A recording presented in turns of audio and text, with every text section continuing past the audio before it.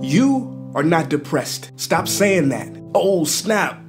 I got people mad already, ready to go off on me in the comments. How dare you question my depression? Hold on. Hold on. Don't be so quick to protect that which causes you suffering. Let's speak honestly. You may be experiencing a depression right now, but you are not depressed. And I'm gonna show you why. And this shift, if remembered, will change your life forever. You ready? See, you are the sky. Depression, frustration, sadness, these are passing clouds. They come, they go. Some are black, some are white. Sometimes they pepper the sky, and sometimes they fill the sky. But they always come and go. Because they, even though they seem like it, are not the sky.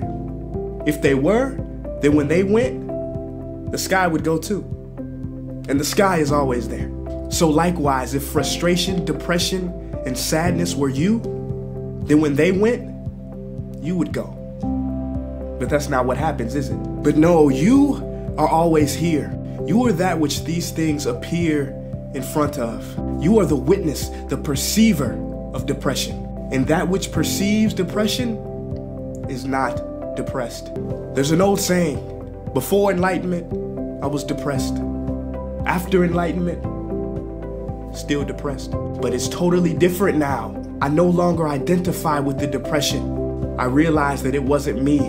I observe it, allow it to come and go without resisting it.